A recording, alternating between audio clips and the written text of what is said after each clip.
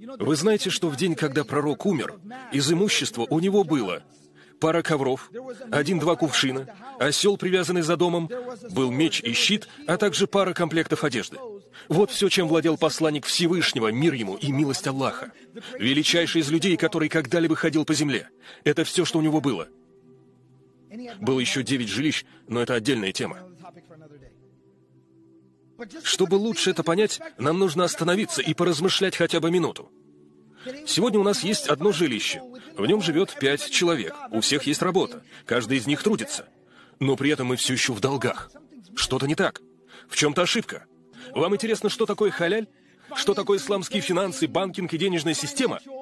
Если вам что-то по-настоящему не нужно, вы это не покупаете. Это ислам. Это соответствие шариату. Если вы никогда не покупаете то, в чем не нуждаетесь, значит, вы живете